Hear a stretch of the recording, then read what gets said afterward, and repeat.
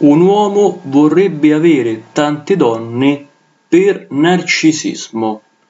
Nel video di oggi, 25 dicembre 2018, Natale, ho intenzione di divulgare ai miei iscritti, ma anche a chi non è iscritto, a questo canale di YouTube che effettivamente, dal mio punto di vista, in Italia abbiamo una situazione in cui, diciamo così, che un uomo una persona quindi appartenente al genere maschile vuole, vorrebbe avere tante donne per mero spirito narcisistico.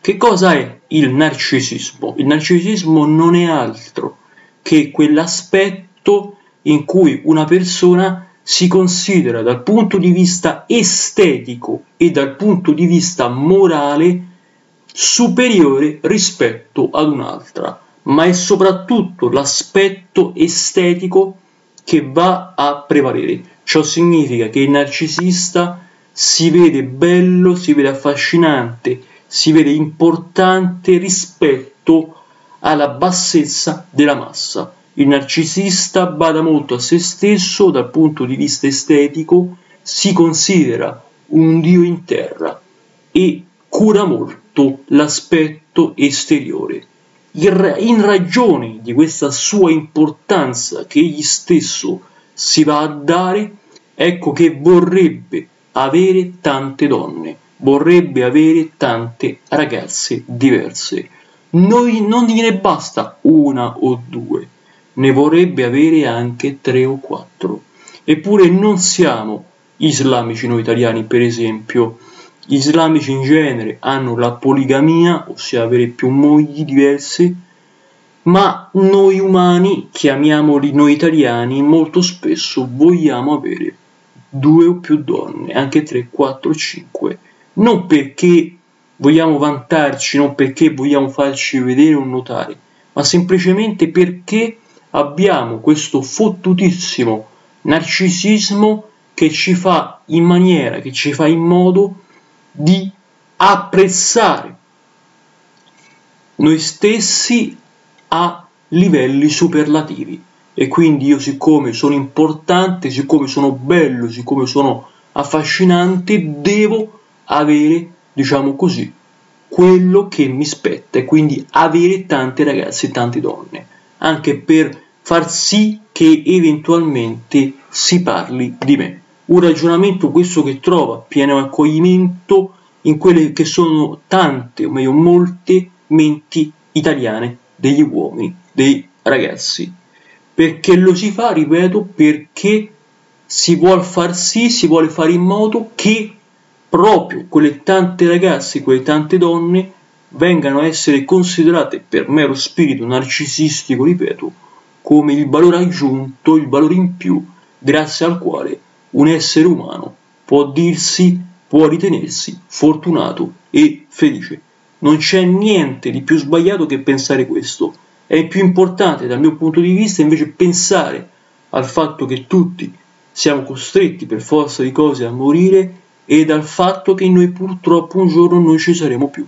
Questo è un ragionamento che deve essere compiuto da ogni essere umano, ma che spesso o per non pensarci o per evitare di affrontare il problema, non si pensa e si esorcizza la problematica esistenziale in questione pensando che ci sia un dopo morte, un paradiso, un purgatorio, un inferno, un Dio che veglia sopra di noi, sopra le nostre teste. Ecco, tutto ciò si traduce chiaramente in una situazione in cui noi umani ci troviamo a dover scontrarci con quella che è la realtà triste, opaca, pessimista della eterna domanda cosa c'è dopo, ma perché si muore. Sono tutti aspetti che devono essere tenuti in considerazione, molti tra cui io lo tengo sempre in considerazione, ogni giorno rifletto sulla fine ultima che toccherà anche a me un giorno e più passano i giorni e mi dico perché tutto ciò, perché nascere, perché vivere, perché un giorno devo morire.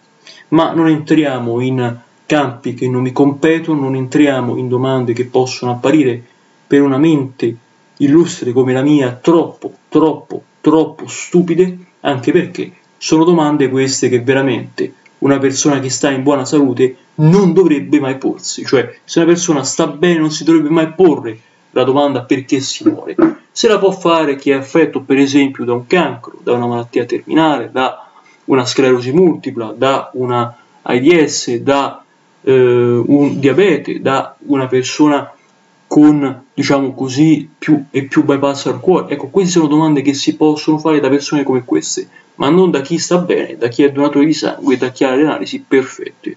Ecco, tutto ciò quindi, riassumendo brevemente, si traduce sempre nel bisogno di certezze che abbiamo. Ma tralasciando questo argomento ed entrando in quello che trovate, che trovi in questo titolo del video di oggi, dico semplicemente una cosa molto molto facile ed è questa. Accettiamo quello che è la vita, accettiamo quello che è la morte, ma rendiamoci anche conto che purtroppo molti uomini, essendo maschilisti anche, qui entra anche in gioco la componente maschilista, vogliono avere tante donne per mero spirito narcisistico, narcisista. Il narcisismo chiaramente è un aspetto del tutto umano che fa parte di una persona. Il narcisista vede in se stesso la perfezione assoluta e quindi vedendosi perfetto, apprezzandosi sempre di più anche e soprattutto dal punto di vista estetico, curando molto la sua immagine, Dice perché devo accontentarmi di una donna sola? Perché devo accontentarmi di una sola fanciulla? Voglio avere più donne, 2, 3, 4, 5, 6 donne e averle tutte per me. Si chiama mero spirito narcisistico. Il narcisismo è tutto ciò. Si va a tradurre dal punto di vista dei comportamenti in una smodata ricerca di ragazze e di donne, anche sul web, anche ricorrendo al mezzo chiamato internet per andare a soddisfare questo narcisismo imperante, presente e continuamente, chiamiamolo, appalesato nei diversi comportamenti o per meglio dire nelle diverse azioni che un essere umano maschio, solamente maschi, vanno a compiere. Le donne non sono per la poligamia, le donne non sono per ricercare o meglio avere due uomini o tre o quattro, anzi probabilmente nemmeno uno uomo gli serve ad una donna, anche perché in genere la donna non è cacciatrice, è però facile preda di un uomo, di un ragazzo. Bene, Leandro Smerli di Roma è tutto, mi auguro di aver svegliato le coscienze, di aver illuminato il mio pubblico e soprattutto di aver fatto capire a tutti come stanno le cose da quello che è il mio punto di vista. Sia chiaro, io non sono Dio, non sono un Dio in terra, io parlo però avendo la certezza di quello che dico.